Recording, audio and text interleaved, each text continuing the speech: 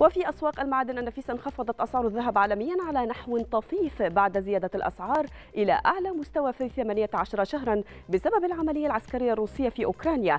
أما على الصعيد المحلي سجل عيار 18 نحو 710 جنيهات ووصل عيار 21 السعر اليوم إلى 829 جنيها.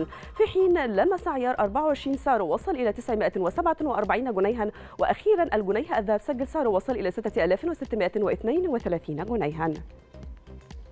انخفضت أسعار النفط بعد زيادات حادة بسبب مخاوف من احتمال اضطراب الإمدادات الدولية بعد فرض عقوبات على روسيا وهي من كبار مصدري النفط في العالم بسبب الأزمة الأوكرانية. وتراجعت العقود الآجلة لخام برنت لشهر أبريل بنسبة 21 من المئة في المئة ووصل السعر اليوم إلى 97 دولارا و93 سنتا للبرميل.